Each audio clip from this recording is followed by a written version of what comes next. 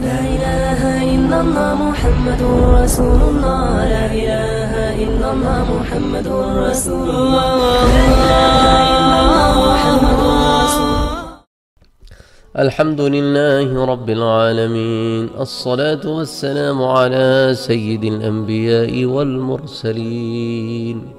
سیرت سیدنا أبو بکر صدیق رضی اللہ تعالی عنہ میں ہم معرکہ یرموک یا جنگ یرموک تک پہنچے ہیں. تو پچھلے درس میں ہم نے اجنادین کے جنگ کی بات کی تھی کہ اجنادین میں روم کو شکست فاش ہوئی اور مسلمانوں کو عظیم فتح نصیب ہوئی۔ اس کے بعد یہ فوج واپس ہوئی۔ مسلمانوں کو اس سے اطمینان پہنچا اور اسلامی فوج یرموک میں خلیفہ کے حکم کے نفاذ کے لیے جمع ہو گئی۔ ادھر رومی فوجیاں جو ہے وہ تھیوڈور کی قیادت میں حرکت میں آئیں اور لمبے چوڑے میدان میں اتریں۔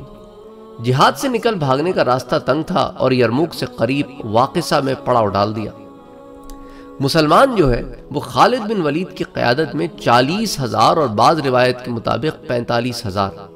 رومی تھیوڈور کی قیادت میں دو لاکھ چالیس ہزار۔ مسلمان خالد بن ولید کی قیادت میں یرموک پہنچے اور وہاں خیمزن ہو گئے۔ اور رومی دریا کے جنوبی کنارے اپنے عمراء و قائدین کے ساتھ جمع ہو گئے۔ اس موقع پر عمر ابن عاص نے فرمایا، لوگوں خوش ہو جاؤ، واللہ رومی محصور ہو چکے ہیں اور محصور کو بہت کم خیر حاصل ہوتی ہے۔ خالد نے جنگ کا جدید اسلوب اختیار کیا جو اس سے قبل عربوں میں رائج نہ تھا۔ آپ نے کرادیس کا نیا اسلوب اختیار کیا اور اپنی فوج کو ان ترتیب سے رکھا۔ فرقہ یعنی کہ دستہ، دس سے لے کر بیس کردوس پر مشتمل ہوتا ہے۔ اس کا ایک قائد اور امیر ہوتا ہے۔ اس کو فرقہ کہتے ہیں۔ اچھا کردوس ایک ہزار مقاتلین پر مشتمل ہوتا ہے، جس کا ایک قائد اور امیر ہوتا ہے۔ خالد نے اپنی فوج کو ان طریقوں پر چالیس صفوں میں تقسیم کیا۔ قلب یہ اٹھارہ کردوس پر مشتمل ہوتا ہے۔ تو کردوس تو میں نے آپ کو بتا دیا کہ ایک ہزار مقاتلین کا ایک کردوس ہوتا ہے، اس کا ایک قائد ہوتا ہے اور ایک امیر ہوتا ہے۔ تو فرنٹ لائن میں انہوں نے اٹھارہ کردوس بنائے۔ جس کی قیادت ابو عبیدہ ابن جرہ کے ہاتھ میں تھی۔ اور آپ کے ساتھ اکرمہ بن ابی جہل اور قعقع بن عمر بھی تھے۔ یعنی کہ ہر کردوس کا ایک ہیڈ اور ان تمام کردوسوں کے یہ جو اٹھارہ ہیڈز ہیں، ان کے اوپر پھر ایک ہیڈ ابو عبیدہ بن جرہ ان کے ساتھ ان کے دو معاونین ایڈوائزرز اکرمہ بن ابی جہل اور قعقع بن عمر، بن یا قعقع بن عمر۔ اچھا پھر رائٹ ونگ میں یہ دس کردوس پر مشتمل تھی۔ اس کی قیادت عمر ابن عاص کے ہاتھ میں تھی اور آپ کے ساتھ آپ کے ایڈوائزر شرحبیل بن حسنہ بھی تھے۔ اچھا لیفٹ ونگ میں یہ دس کردوس تھے۔ اس کی قیادت یزید بن ابی سفیان کر رہے تھے۔ اچھا اسی طرح آپ نے نا طلعہ یعنی مقدمہ، یہ شہ سواروں پر مشتمل حفاظتی دستہ ہے، جس کی ذمہ داری نگرانی اور دشمن کی نقل و حرکت پر اس کی نظر رکھنا، اس کا یہ کام ہے۔ اس لیے اس کے اندر جو لوگ ہوتے ہیں نا، وہ بہت مختصر لوگ ہوتے ہیں۔ اور پھر سارے گھوڑ سوار ہوتے ہیں it's easy to move around آسانی سے نقل و حرکت کر سکتے ہیں۔ اسی طرح ساقہ یعنی پیچھے۔ یہ پانچ کردوس یعنی پانچ ہزار مقاتلین پر مشتمل ہوتا ہے۔ اس کی قیادت سعید بن زید کے ہاتھ میں تھی۔ اس کی ذمہ داری انتظامی امور سے متعلق تھی۔ قاضی ابو دردار رضی اللہ تعالیٰ عنہ تھے اور انتظامی امور پر عبداللہ بن مسعود رضی اللہ تعالیٰ عنہ مقرر تھے۔ ان کی ذمہ داری انتظامی امور کی نگرانی، خرد و نوش کا انتظام اور مال غنیمت کو جمع کرنے کا انتظام۔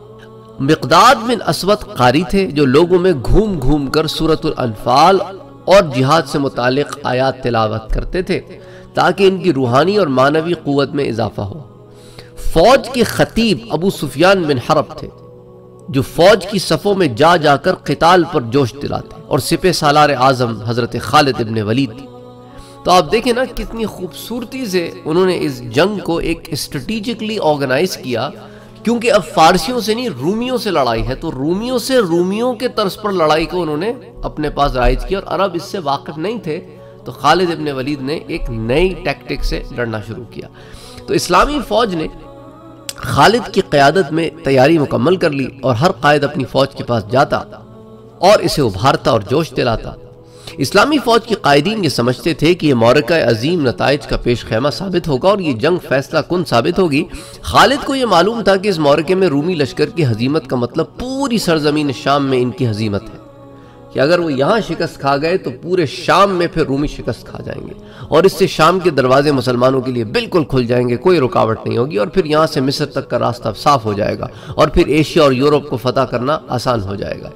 تو جب ایمان و کفر کی دونوں فوجوں کا آمنا سامنا ہوا اور دونوں نے ایک دوسرے کو دعوت مبارزت دی، تو ابو عبیدہ نے مسلمانوں کو واز کرتے ہوئے فرمایا کہ اللہ کے بندوں، اللہ کے دین کی مدد کرو، اللہ تمہاری مدد کرے گا اور تمہیں ثابت قدم رکھے گا۔ یقیناً اللہ کا وعدہ برحق ہے۔ اے مسلمانوں، صبر سے کام لو، صبر کفر سے نجات اور اللہ کی رضا کے حصول کا ذریعہ ہے اور آر و رسوائی کو ختم کرنے والا ہے۔ اپنی صفوں سے ہٹنا نہیں، ایک قدم بھی ان کی طرف مت بڑھو۔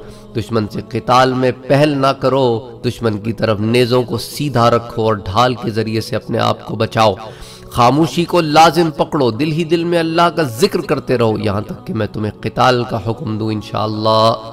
معاذ ابن جبل آگے بڑھے اور لوگوں کو نصیحت کرتے ہوئے فرمایا کہ اے قرآن والوں یا اہل القرآن، اللہ کی کتاب کے حافظوں اے ہدایت کے مددگار و حق کے طرف داروں، اللہ کی رحمت اور اس کی جنگ صرف آرزوؤں سے حاصل نہیں ہو سکتی۔ اللہ اپنی مغفرت اور وسیع رحمت صرف سچوں کو عطا کرتے ہیں۔ تم اللہ کا یہ ارشاد نہیں سنتے۔ وعد اللہ الذین آمنوا منکم وعملوا الصالحات لا يستخلفنهم في الارض كما استخلف الذین من قبلهم تم میں سے ان لوگوں سے جو ایمان لائے ہیں اور نیک اعمال کیے ہیں، اللہ وعدہ فرما چکا ہے کہ انہیں ضرور زمین میں خلیفہ بنائے گا، جیسا کہ ان لوگوں کو خلیفہ بنایا تھا جو ان سے پہلے تھے۔ اللہ تم پر رحم کرے، اپنے رب سے شرم کھاؤ کہ وہ تمہیں دشمن سے بھاگتا ہوا دیکھے۔ حالانکہ تم اللہ کے قبضے میں ہو، اللہ کے سوا تمہارے لیے کوئی پناہ دینے والا نہیں اور اس کے بغیر عزت و غلبہ ملنے والا نہیں۔ عمر ابن عاص نے فرمایا کہ مسلمانوں، نگاہیں نیچی رکھو، گھٹنوں کے بل بیٹھ جاؤ، نیزے سیدھے کر لو۔ جب دشمن حملہ آور ہو تو انہیں ڈھیل دو، یہاں تک کہ نیزوں کے نشانوں پر آ جائیں۔ پھر شیر کی طرح ان پر کود پڑو اس ذات کی قسم جو سچائی کو پسند کرتا ہے اور اس پر ثواب سے نوازتا ہے اور جھوٹ کو ناپسند کرتا ہے اور اس پر سزا دیتا ہے، اچھائی کا بدلہ اچھائی سے دیتا ہے۔ میں نے یہ بات سنی ہے کہ مسلمان قریب فتح کریں گے۔ بستی بستی، قصر قصر، لہٰذا ان کی کثرت تعداد سے تم خوف میں نہ آنا۔ اگر تم نے ڈٹ کر ان کا مقابلہ کیا تو وہ پرندوں کی طرح بکھر جائیں گے۔ پھر ابو سفیان نے فرمایا، مسلمانوں، تم اس وقت اہل و عیال سے الگ، امیر المومنین اور مسلمانوں کے امدادی لشکر سے دور بلاد عجم میں ہو۔ اور خدا کی قسم، تم ایسے دشمن کے مقابلے میں کھڑے ہو جو تعداد میں بہت زیادہ اور تمہارے خلاف انتہائی سخت ہے۔ اور وہ اپنے ملک میں بیوی بچوں، مال و اسباب اور اپنے لوگوں کے ساتھ ہیں۔ اللہ تمہیں اسی وقت ان سے نجات دے گا۔ اور تمہیں اللہ کی رضا حاصل ہوگی۔ جب تم ناپسندیدہ حالات میں صبر و استقامت سے کام لیتے ہوئے ڈٹ کر مقابلہ کرو، اپنی تلواروں سے اپنی حفاظت کرو، آپس میں ایک دوسرے سے تعاون کرو، اور یہی تمہارے لیے پناہ اور حساب ہو پھر خواتین کے پاس گئے اور انہیں نصیحت کی، پھر وہاں سے لوٹے اور ندا دی۔ اے مسلمانوں، وہ چیز آ گئی جس کا تم مشاہدہ کر رہے ہو۔ سنو، یہ تمہارے سامنے رسول اللہ اور جنت ہے اور تمہارے سامنے شیطان اور جہنم ہے۔ پھر اپنے مقام پر چلے گئے۔ ابو حریرہ نے لوگوں کو واز کرتے ہوئے فرمایا، لوگوں، حور العین اور جنات النعیم میں اپنے رب کے جوار کی طرف بڑھو، آگے بڑھو۔ آج جس مقام پر کھڑے ہو، یہ تمہارے رب کو سب سے زیادہ محبوب و پسندیدہ مقام ہے۔ خبردار ہو جاؤ، صابرین کا بڑا اونچا مقام ہے۔ ابو سفیان ہر کر دوس کے پاس جا کر کہتے، اللہ اللہ، تم عرب کے طرف سے دفاع کرنے والے اور اسلام کے انصار ہو، اور تمہارے دشمن روم کی طرف سے دفاع کرنے والے اور شرک کے انصار ہیں۔ اے اللہ، آج تیرا دین ہے، الہی اپنے بندوں پر اپنی مدد نازل فرما۔ اچھا عرب نصارہ میں سے ایک شخص نے خالد سے کہا کہ رومی کتنے زیادہ اور مسلمان کتنے کم ہیں؟ خالد نے فرمایا، تو تباہ ہو، کیا تو مجھے رومیوں سے ڈراتا ہے؟ افراد کی تعداد کا اعتبار نہیں، اصل اعتبار نصرت و غلبہ اور شکست و خزلان کا ہے۔ خدا کی قسم، میری خواہش تو یہ ہے کہ کاش آج میرا اشکر گھوڑا شفایاب ہو چکا ہوتا اور دشمن دگنا ہوتا۔ عراق سے آتے ہوئے آپ کے گھوڑے کے پیر زخمی ہو گئے تھے۔ تو معاذ بن جبل جو ہے، وہ پادریوں اور راہبوں کی آواز سنتے تو فرماتے کہ اللہ دشمن کے پاؤں کھاڑ دے، اللہم زلزل اقدامہم ورعب قلوبہم وانزل علینا السکینہ والزمنا کلمت التقوی وحبب الینا اللقاء وارضنا بالقضاء۔ اے اللہ دشمن کے پاؤں کو کھاڑ دے، ان کے دلوں کو مرعوب کر دے، ہمارے اوپر سکینت نازل فرما اور کلمہ تقوی پر ہم کو قائم رکھ، قتال ہمارے لیے محبوب کر دے اور قضاء و قدر پر ہمیں راضی کر دے۔ رومی اپنے کبر و غرور کے ساتھ کالی بدلیوں کی طرح امٹ پڑے اور میدان و صحرا پر چھا گئے۔ بلند آواز سے چیخنے لگے، ان کے پادری اور راہب انجیل پڑھ پڑھ کر ان کو سناتے اور جوش دلاتے۔ رومی یرموک سے قریب واقس قوسا کے مقام پر جمع ہوئے اور یہ وادی ان کے لیے خندق ثابت ہوئی۔ رومیوں نے کردوس کا اسلوب اختیار کرتے ہوئے تیاری کی، کیونکہ ان کی لڑائی کا یہی طریقہ تھا۔ خالد نے بھی اسی طریقے پہ اپنی فوج کو تیار کیا۔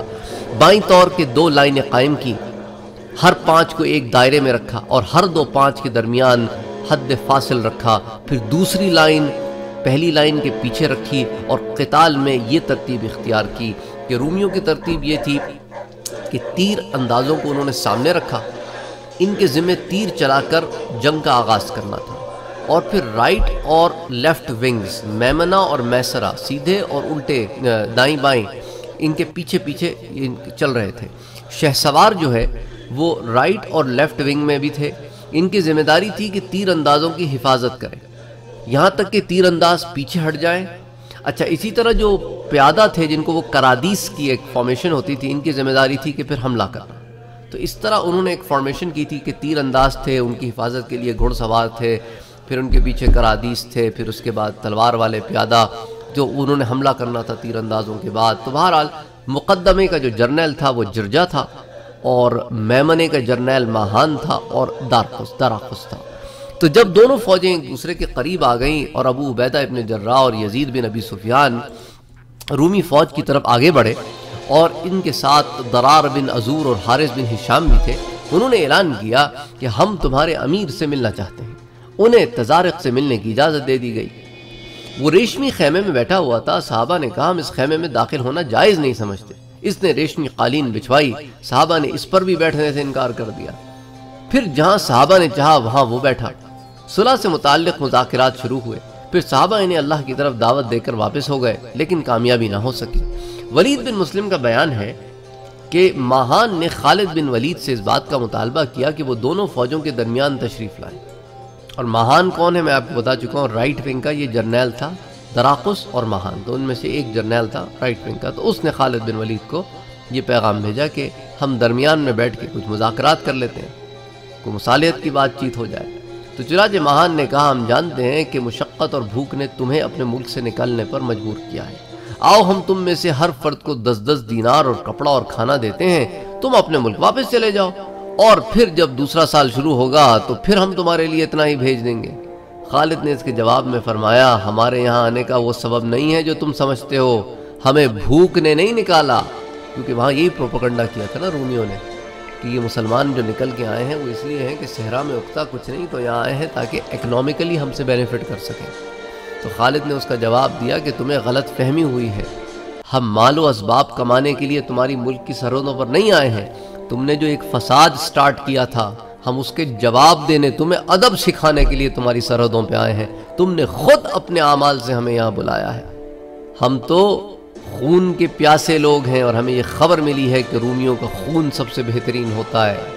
یعنی اس کو یہ بات انہوں نے ذرا روپ کے انداز میں بھی کہی، تاکہ اس کو یہ باور ہو جائے کہ مسلمان قیر و تعداد اور اکنامک ریزنز میں تم سے پیچھے ہیں۔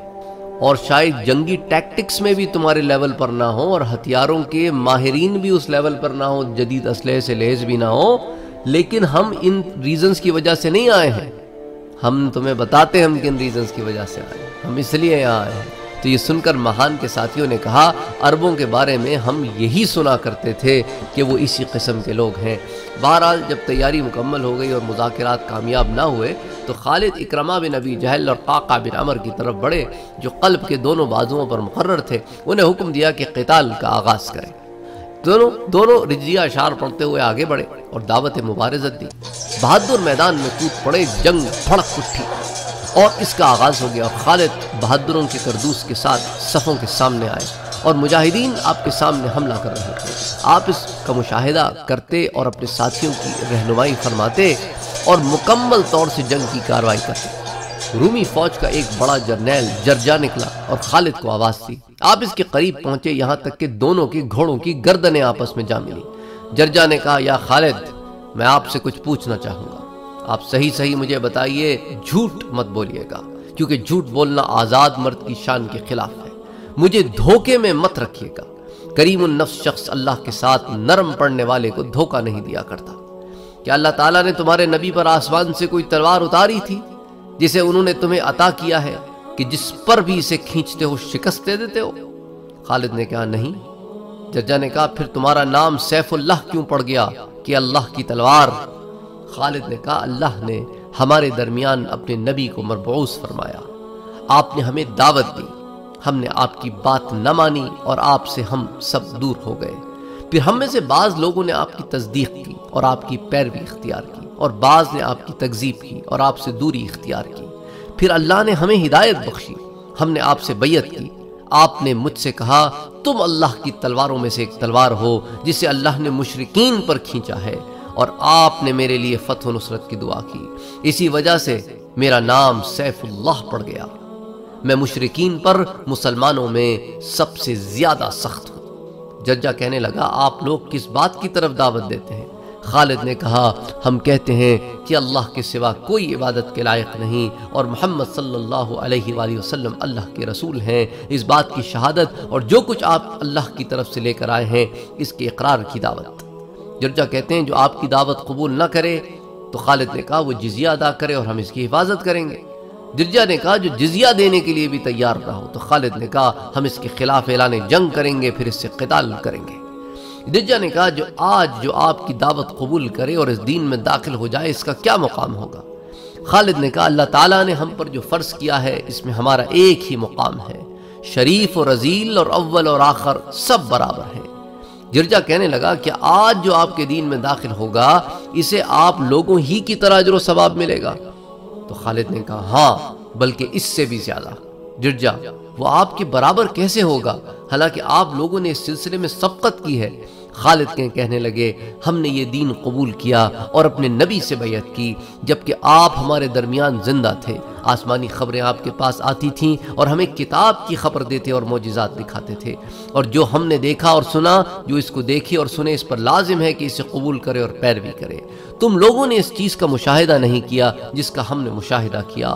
اور جو عجائب اور دلیلیں ہم نے سنی، وہ تم نے نہیں سنی۔ تو تم میں سے جو شخص اخلاص نیت کے ساتھ اس دین میں داخل ہو، وہ ہم سے افضل ہے۔ جرجا کہنے لگا، واللہ، تو سچ کہہ رہا ہے، تو دھوکہ نہیں دے رہا۔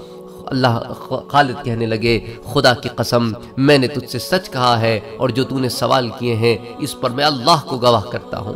یہ سن کر جرجا اپنی ڈھال پلٹ دی اور خالد کے ساتھ ہو گیا اور عرض کیا، مجھے اسلام سکھائیے. خالد اسے لے کر اپنے خیمے میں آ گئے۔ اس کو غسل کرنے کا حکم دیا۔ اسے دو رکعت نماز پڑھائی۔ جرجا کے خالد کے ساتھ ہو جانے کے ساتھ ہی رومیوں نے زوردار حملہ کیا، جس سے مسلمان اپنی جگہوں سے ہٹ گئے۔ صرف دفاعی دستہ اپنی جگہ ڈٹا رہا، جس پر اکرمہ بن ابی جہل اور حارث بن حشام متعین تھے۔ اسلامی فوج پر حملہ کرنے کے لیے رومی رات کی تاریکی کی طرح آگے بڑھے اور ان کے میسرہ نے مسلمانوں کے میمنہ پر حملہ کر دیا، جس سے اسلامی فوج کا قلب میمنہ کی طرف سے غیر محفوظ ہو گیا۔ رومی اسلامی فوج کی صفوں میں خلل پیدا کرنے اور ساقہ تک پہنچنے میں کامیاب ہو گئے۔ یہ منظر دیکھ کر معاذ ابن جبل نے مسلمانوں کو آواز دی، اے اللہ کے مسلم بندوں، یہ لوگ تم پر غالب آنے کے لیے ٹوٹ پڑے ہیں۔ اللہ کی قسم، انہیں صبر و استقامت ہی دھکیل سکتی ہے، پھر آپ اپنے گھوڑوں سے اتر پڑے۔ اور فرمایا، جو میرے گھوڑے پر سوار ہو کر لڑنا چاہے، وہ لے لے اور خود پیادہ فوج کے ساتھ شامل ہو کر قتال میں مصروف ہو گئے۔ اس مزحج حضر موت اور خولان کے قبائل نے ڈٹ کر مقابلہ کیا اور دشمن کو روکنے میں کامیاب ہوئے۔ پھر پہاڑوں کی مانند رومیوں نے ان پر حملہ کر دیا اور مسلمان میمنہ سے قلب کی طرف چلے گئے اور ایک گروہ الگ ہو کر معسکر کی طرف چلا گیا اور مسلمانوں کا بہت بڑا گروہ ثابت قدم رہا اور وہ اپنے اپنے پرچم چلے جنگ کرتے رہے اور زبید کے لوگ منتشر ہو گئے اور پھر انہوں نے ایک دوسرے کو آواز دی اور پلٹ کر رومیوں پر زوردار حملہ کیا۔ انہیں پیش قدمی سے روک دیا اور جو مسلمان منتشر ہو گئے تھے، ان کی تعقب سے انہیں باز رکھا اور جو لوگ شکست خوردہ ہو کر بھاگ رہے تھے، ان کا استقبال خواتین اسلام ڈنڈوں اور پتھروں سے کرتی تھیں یہاں تک کہ ان لوگوں نے بھی پھر اپنی پوزیشن دوبارہ سنبھال لی۔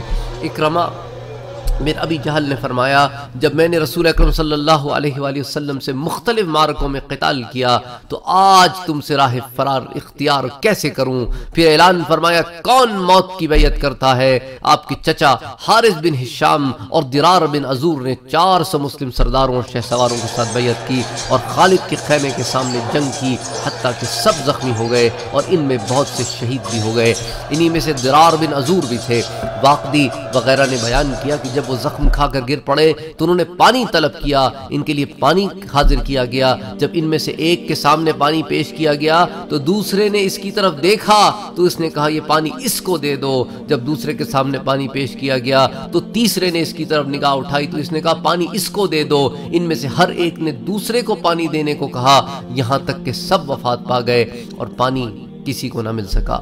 کہتے ہیں، اس روز مسلمانوں میں سب سے پہلے شہید ہونے والے شخص ابو عبیدہ رضی اللہ تعالیٰ عنہ کے پاس آئے اور کہنے لگے، میں نے اپنی پوری تیاری کر لی ہے کہ آپ کو رسول اللہ سے کوئی کام ہے؟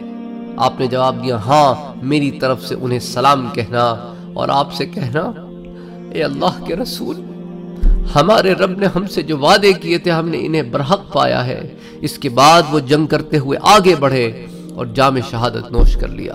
تمام لوگ اپنے اپنے پرچم تلے ثابت قدم رہے اور رومی چکی کی طرح چکر لگانے لگے اور یرموک کے روز میدان کا میں گرے ہوئے سر، عمدہ کلائیاں اور اڑتی ہوئی ہتیلیاں ہی نظر آ رہی تھیں۔ سخت جنگ، گھمسان کی جنگ۔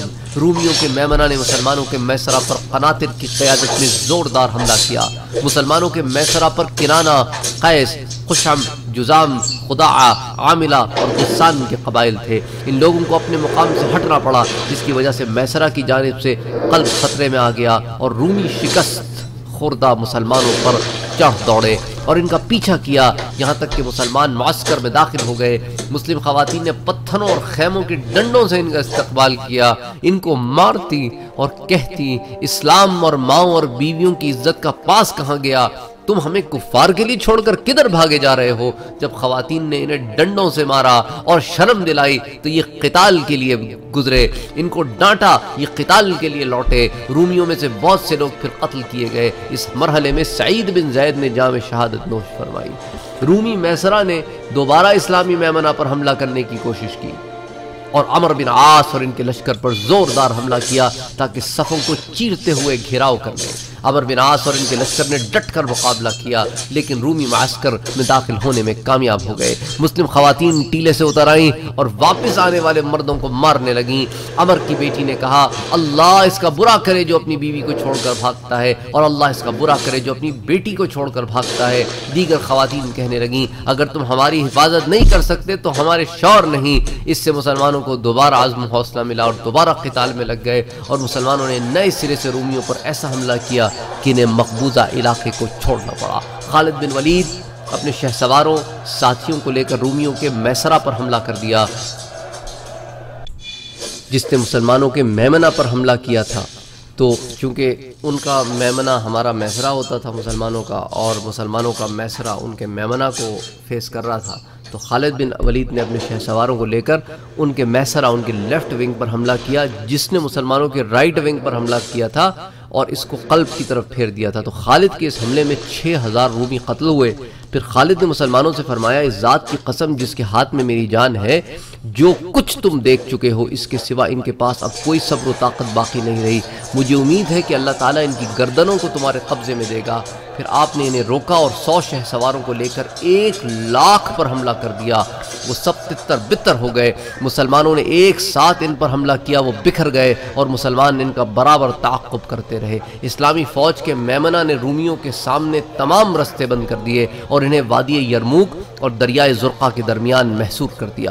مورکہ جاری رہا، گھمسان کی جنگ چلتی رہی۔ مسلمانوں نے خوب ایمانی جوہر دکھائے اور ثابت قدمی کا ثبوت دیا اور رومی فوج کے شہ سواروں کو پیادہ فوج سے الگ کرنے میں کامیاب ہو گئے۔ پھر رومیوں پر حملہ کر دیا اور ان پر چڑھ دوڑے اور انہیں تھکا کر رکھ دیا۔ اس کی وجہ سے رومی شہ سوار فرار کے لیے راہ تلاش کرنے لگے۔ خالد نے عمر بن عاص سے کہا کہ انہیں بھاگنے کا موقع دو۔ انہیں بھاگنے کا موقع دیا گیا۔ رومی شہ سوار بھاگ کھڑے ہوئے اور پیادہ رومی فوج شہ سواروں کی حمایت میں نہ رہی۔ اس طرح وہ خندقوں کی طرف زنجیروں میں باندھ کر لائے گئے اور ان کی مثال گری ہوئی دیوار کی طرح ہو گئی۔ مسلمان رات کی تاریکی میں ان کی خندق کی طرف بڑھے، وہ سب کے سب وادی میں گرنے لگے۔ ان میں سے ایک شخص جب قتل ہوتا تو اس کے ساتھ جتنے افراد زنجیر میں بندھے ہوئے ہوتے، سب گر پڑتے۔ اس مرحلے پر مسلمانوں نے ان کے بہت سے افراد قتل کیے، جن کی تعداد تقریباً ایک لاکھ بیس ہزار تھی۔ کیونکہ انہوں نے اپنے آپ کو جو زنجیروں سے باندھ لیا تھا تاکہ کوئی بھاگے نہ، تو اب زنجیر میں سب بندھے ہیں۔ تو اب ایک آدمی زنجیر میں سے گرے گا تو اس کے ساتھ سب زنجیر میں سے گر جائیں گے۔ اور پھر رات کی تاریخی ہے۔ تو بہرحال اس طرح ان کے کئی لوگ یوں مارے گئے۔ ان میں سے کچھ فحل اور کچھ دمشق کی طرف بھی بھاگ گئے۔ ان کے مقابلے میں یزید بن نبی سفیان ڈٹ گئے اور خوب زوردار قتال کیا۔ ان کے والد ان کے پاس سے گزرے فرمایا، میرے لخت جگر، اللہ کا تقوی اور صبر لازم پکڑو۔ آج اس وادی میں جو مسلمان بھی ہے، اس پر لازم ہے کہ وہ قتال کرے۔ تو تم اور تم جیسے لوگ جو مسلمانوں کے امیر ہیں، ان پر درجہ بدرجہ آئیں۔ تو میرے لخت جگر اللہ سے ڈرو اور تمہارے ساتھیوں میں سے کوئی دوسرا تم سے بڑھ کر جنگ میں اجر و صبر کی رغبت رکھنے والا اور آداء اسلام کے خلاف جری نہ ہو۔ یزید نے کہا، یزید بن ابی سفیان نے کہا، انشاءاللہ ایسا ہی کروں گا۔ پھر ڈٹ کر زوردار قتال کیا۔ اس وقت یہ قلب کی طرف بڑھ رہے تھے۔ سعید بن مسیف اپنے والد سے روایت کرتے ہیں کہ یرموک کے دن خاموشی تاری ہوئی تو ہم نے ایک زوردار آواز سنی جو پورے معسکر میں سنی جا رہی تھی، اللہ کی مدد قریب آ جا، مسلمانوں ڈٹ جاؤ ڈٹ جاؤ ہم نے دیکھا تو آواز دینے والے ابا سفیان تھے جو اپنے بیٹے یزید بن ابی سفیان کے پرچم تلے تھے۔ مسلمانوں نے مغرب و عشاء کی نماز مؤخر کی، یہاں تک کہ فتح مکمل ہو گئی۔ خالد نے روم کے سپہ سالار ہرقل کے بھائی تزارق کے خیمے میں رات گزاری۔ وہ بھاگنے والوں کے ساتھ بھاگ کھڑا ہوا، شہ سوار خالد کے خیمے کے ارد گرد چکر لگاتے رہے۔ جو رومی ادھر آتا، اس کو قتل کرتے۔ صبح تک یہی کیفیت رہی۔ تزارق بھی قتل کیا گیا اور اس دن اس کے تیس شامیانے اور تیس تیس دیباج کے سائبان تھے اور مزید برا قالین اور ریشمی پردے اور جوڑے تھے اور جب صبح ہوئی تو وہاں جو کچھ تھا مسلمانوں نے مال غنیمت میں حاصل کیا۔ اس مارکے میں مسلمانوں کے شہداء کی تعداد تین ہزار تھی، جن میں اصحاب رسول صلی اللہ علیہ وآلہ وسلم، مسلم سربراہان اور زعماء شامل تھے۔ جامع شہادت نوش کرنے والوں میں اکرمہ بن ابی جہل اور ان کے بیٹے عمر، سلمہ بن ہشام، عمر بن سعید آبان بن سعید، یہ سب شامل تھے اور رومی مقتولین کی تعداد تقریباً ایک لاکھ بیس ہزار تھی۔ ان میں اسی ہزار زنجیروں میں قید اور چالیس ہزار بغیر زنجیروں کے سبب اس وادی میں موت کے گھاٹ اتر گئے۔ اس عظیم فتح سے مسلمان بہت خوش ہوئے، لیکن ابا بکر کی وفات کی خبر نے اس خوشی میں بدمزگی پیدا کر دی۔ مسلمان غم سے نڈھال ہو گئے۔ اللہ تعالیٰ نے انہیں ابو بکر کے عوض عمر رضی اللہ تعالی عنہ سے نوازا اور عطا کیا تو مسلمانوں کو ایک دفعہ پھر ایک مضبوط قیادت ملی جس کی قیادت میں پھر وہ آگے بڑھ سکیں۔ رومیوں کے ساتھ یرموک میں جنگ کے دوران ہی ابو بکر رضی اللہ تعالی عنہ کی وفات کی خبر خالد کو پہنچ چکی تھی۔ لیکن آپ نے اس خبر کو مسلمانوں سے چھپائے رکھا تاکہ اس کی وجہ سے ان میں کوئی کمزوری نہ ہو اور جب فتح مکمل ہو گئی تو آپ نے اس حقیقت کا انکشاف فرمایا۔ فاروق اعظم نے خالد کی جگہ ابو عبیدہ کو شام میں سے سالار اعظم مقرر فرمایا۔ خالد نے امیر المومنین کی اس قرارداد کو خوش دلی کے ساتھ قبول فرمایا۔ فرمایا خلیفت رسول اللہ ابو بکر کی وفات پر مسلمانوں سے تعزیت کرتے ہوئے فرمایا کہ تمام تعریف اللہ کے لیے ہے، جس نے ابا بکر کو وفات دی، وہ میرے نزدیک عمر سے زیادہ محبوب تھے اور تمام تعریف و شکر اللہ کے لیے جس نے عمر کو خلیفہ بنایا، حالانکہ وہ ابو بکر کے مقابلے میں مجھے ناپسند تھے اور اس نے ان کی محبت مجھ پر لازم کر دی۔ ابو عبیدہ بن جرہ نے فوج کی قیادت سنبھالی۔ اس شکست سے ہرقل بہت افسردہ ہوا اور جب بچی کچی اس کی فوجیں انتاکیہ پہنچی تو اس نے کہا، تم برباد ہو، مجھے بتاؤ تم سے جو قتال کر رہے تھے، کیا وہ تمہاری طرح انسان نہ تھے؟ انہوں نے جواب دیا، ضرور کیوں نہیں؟ ہرقل نے کہا، تم سے زیادہ تھے۔ انہوں نے کہا، ہر مقام پر ہم ان سے کئی گناہ تھے۔ ہرقل نے کہا، پھر کیوں شکست کھاتے رہے؟ رومیوں کے عظیم لوگوں میں سے ایک بوڑھے نے کہا، اس وجہ سے کہ وہ رات کو قیام کرتے ہیں اور دن کو روزہ رکھتے ہیں اور عہد کو پورا کرتے ہیں، نیکی کا حکم دیتے ہیں۔ برائی سے روکتے ہیں، آپس میں انصاف کرتے ہیں اور اس وجہ سے بھی کہ ہم شراب پیتے ہیں، ہم زنا کرتے ہیں، ہم حرام کا ارتکاب کرتے ہیں، ہم عہد کی وفا نہیں کرتے، ہم ظلم کرتے ہیں، ہم ناپسندیدہ کاموں کا حکم دیتے ہیں اور ان باتوں سے اللہ راضی ہوتا ہے، اس سے روکتے ہیں اور زمین میں فساد کرتے ہیں۔ ہرقل بولا، تو نے جو کہا، وہ سچ کہا۔ تو یوں جنگی یرموک اپنے اختتام کو پہنچی اور وہ سلسلہ جو لشکر اسامہ سے شروع ہوا تھا، آج وہ اس مقام پر پہنچا کہ جنگی یرموک کی وجہ سے رومیوں کا شام میں ایک مضبوط گڑھ ٹوٹ کر پارا پارا ہو گیا۔ تو شام کی فتوحات میں مسلمانوں کے پیچھے ان کی حمایت کے لیے صحرا کافی تھا، لیکن اس کے باوجود مسلمان آگے بڑھنے سے قبل اس بات کا مکمل اطمینان کرتے کہ دشمن پیچھے سے حملہ نہ کرے اور آگے بڑھتے رہے۔ پھر فوجوں کو جمع کرنا اور اس کی پلاننگ ایک عظیم قیادت جو سیدنا ابو بکر صدیق رضی اللہ تعالیٰ عنہ کی ضمن میں ہمارے سامنے آتی ہے، وہ ضرب المثل ہے۔ اور اس کی مثال بھی تاریخ میں نہیں ملتی کہ اتنی خوبصورتی سے اس زمانے میں جبکہ کمیونیکیشن ایج بھی نہیں تھی، اتنی خوبصورتی سے آپ نے ان لوگوں کو چنا، ان لوگوں کو ہدایات دیں جو اس کام کو آگے لے کر جا سکتے تھے۔ اور انہوں نے اپنے تمام جرنیلوں سے کہا کہ اللہ کے حقوق کو یاد رکھنا، لوگوں کے حقوق کو یاد رکھنا اور اللہ کے لیے ڈٹ جانا، تمہارا صرف ایک مقصد ہونا چاہیے، وہ اللہ کی رضا۔ اور صرف اللہ کی رضا۔ اور جو تمہارے امیر ہوں، ان کی اطاعت تم پر لازم ہے۔ اور تمہارے ساتھ جو لوگ ہیں، ان کی خبر گیری کرنا، ان کا خیال کرنا۔ اور جو تمہارے نزدیک امپورٹنٹ لوگ میں بھیج رہا ہوں، ان کی عزت و اکرام کرنا تاکہ وہ تمہارے ساتھ بندھے رہیں، ان سے برا سلوک نہ کرنا۔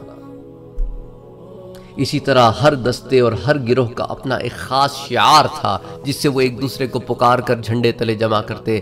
قتال روم پر روانہ ہونے والے لشکر اسامہ کا شعار یا منصور امت تھا، اور حروب و ارتداد میں جب خالد نے یمامہ میں مسلمہ قذاب پر چڑھائی کی، تو ان کا شعار یا محمدہ یا محمدہ تھا، اور فتوحات عراق میں تنوخ کا شعار یا آل عباد اللہ تھا۔ اور اسی طرح ابو عبیدہ ابن جرح کا شعار امت امت تھا اور خالد بن ولید اور ان کے ساتھیوں کا شعار یا حزب اللہ تھا اور قبیلہ عبس کا شعار یل عبس تھا اور یمن کے مخلوط لوگوں کا شعار یا انصار اللہ تھا۔ حمیر کا شعار الفتح، دارم وسکاسک کا شعار صبر صبر اور بنو مراد کا شعار یا نصر اللہ یہ مارکہ یرموک میں نمایاں شعار تھے۔